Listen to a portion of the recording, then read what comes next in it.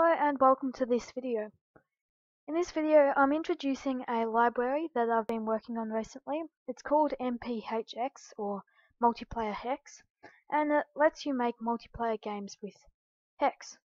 Uh, so this works with any library, so it works with HaxeFlixel, it works with Luxe, OpenFL, any of that, and it can also work just by itself in the terminal without any other libraries.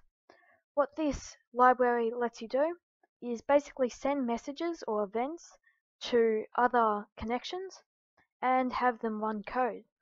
So you can do anything with this.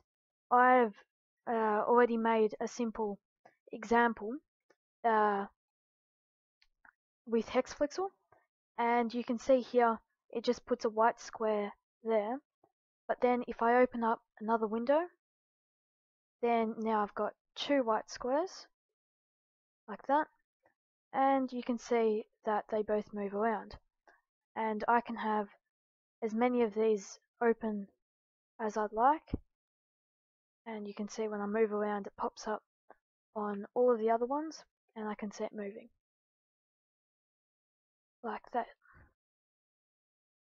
So this library is pretty cool. It's based off a library by Matt Tuttle um, I'm probably pronouncing that wrong, called HexNet. And I wanted to make this a little bit easier to use for beginners. Um, so I'll show you some of the code for the HaxeFlixel example. All of this is on GitHub, including the library. Um, if you want to use the library, you can just go haxelib install uh, hxmp. No, mphx, sorry, multiplayer Haxe. So the client code you can see in playstate here. Um, it's fairly simple. The total app um, for the client is 117 lines and the server is not that much either, it's only 57. Um, so it's very easy to work with and I'll run you through some of the basics of working with it. So obviously you have a client and a server. So a server, you have one of them per game that you make generally and uh, you run that and then all of the clients connect to it. And so a client is really just a player, really. It's just a connection from a player to the server.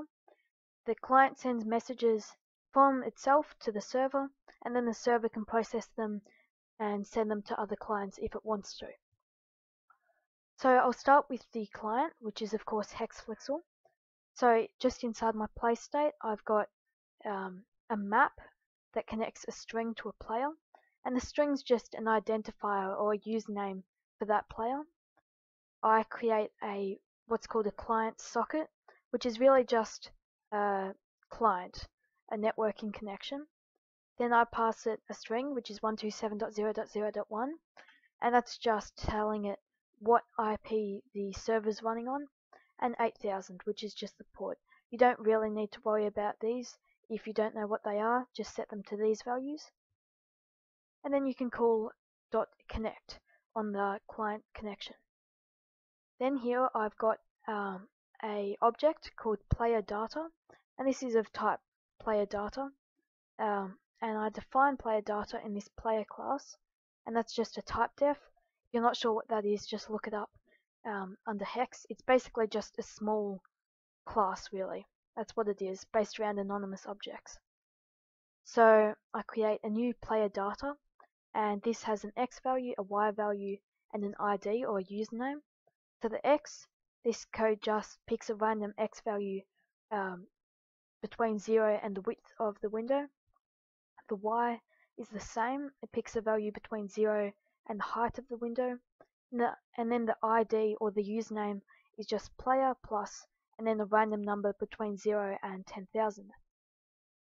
I create a new player and with this player data and this player is just a flex sprite. So the difference between a player data and a player is a player is um, of course extending from flex sprite as you can see here. And that's what we're used to doing on this channel, extending from flex sprite to add things to the screen. So this is a Haxe HaxeFlixel class and then in this HaxeFlixel class, I've got a variable data, um, which I um, can pass in in the new method. And this is just an object that has an X, a Y, and an ID. The reason we have a player data and a player separate rather than together is because player data is a small object that can be sent quickly over the network. For example, we don't really need to send, you know, the graphic that we made for this sprite over the network. Uh, we only need to send the things that are changed, um, which is the position, so the X and the Y, and also the ID. So we create that for our player, so this specific connections player or this client's player. Um, then we pass that into that flex sprite I was talking about. Then we put it into a flex group, which is all players. And then we set players, um, the ID to be the player. And so this is um, referring to this map here. Um, so a map just connects this string or the username to a player. So that if we have a username, we always know what player it is. Now this is where the interesting stuff starts to happen. This is where my library comes into play. So um, once you've made the client socket and you've set everything up up here, you can actually send messages or events. So here I'm just sending a join event and you can see on the server that I'm actually listening to when the client sends a join event. I'll come back to that later. But basically, I'm sending a join event, so saying, hey, I'm a new player, add me to the game, and I'm sending the player data. Not the player, which is the flex sprite, the player data, which just contains the X, the Y, and the username. So once we send that to the server, I'll jump over the, to the service code now. Um, similar things going on here. We've got a map that connects a connection, which is something specific to mp.hx, mphx, sorry, and that's just a client and it connects a client's connection to a player and here a player is only um, under this type def of x, y and id because um, we wouldn't need flex bytes. There's no HaxeFlixel code on the server because the server's just processing the messages and then sending them off to different clients. So we have a map and then we initialize it and here we have a server. So 127.0.0.1 and 8000 that's the same on the client. Don't worry about this if you don't know what it means but here we listen to the join event. So basically the server is an mphx server and we say um, dot events dot on. So when the when any client sends join and we pass a function. So the data could be anything and we have access to the sender, so the specific client who sent it. And then here we just say players.set sender, um, so uh, who sent it, so that specific client here. And then we connect that connection to data. And data is, we go back here, player data, because we say send join player data, so when we come over to the server, data will be the player data, which we had on the client. It will just send that object across the network. And then um, some more MPHX code. We broadcast an event called new player and the data.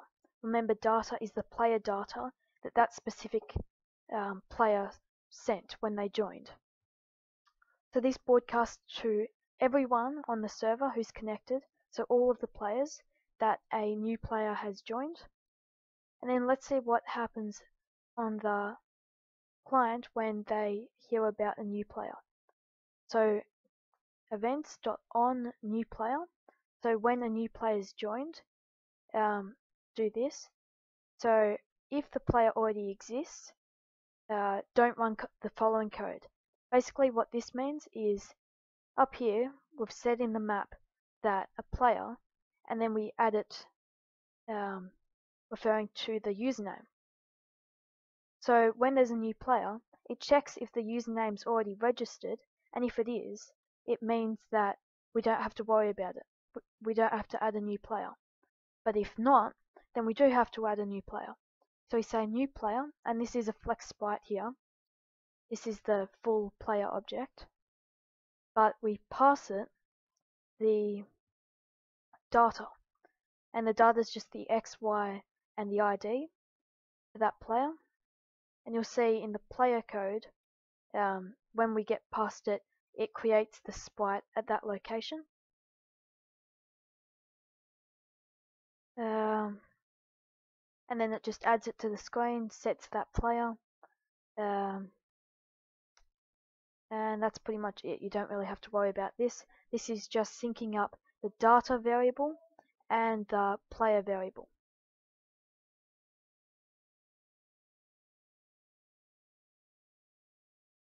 Uh, now we've got the update method here.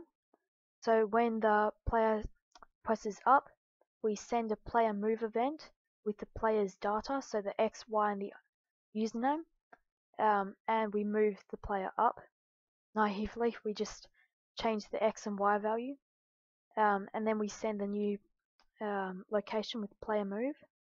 So on the server, if we jump back again, you'll see when a player moves, um, don't worry about that code, um, we say uh, get the player, which is registered on the server with their X, Y, and username, and then move this where it's registered on the server, and then broadcast to everyone else that a player has moved.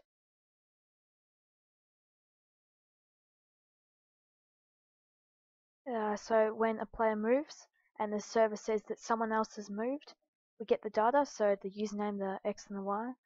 Um, if it's us, so if it's our player and the ID is the same as the player who's moving, then it's obviously the, us that's moving and we don't have to worry about it. Um, if that player doesn't exist, create that player. Whoa. And otherwise we just move the player to the new location. And that's pretty much all of the code in the example. So that's a brief rundown. Um, I, I probably rushed that and you probably took none of that in. But I hope someone got something out of that video. Um, I'm going to be working on this library uh, in the future. I'm going back to school soon, so I won't be able to work on it too much, as much as I have been now, but I think it's in a pretty good state and you can make some pretty decent games with it. Um, and that's all I've got to say. Thank you for watching.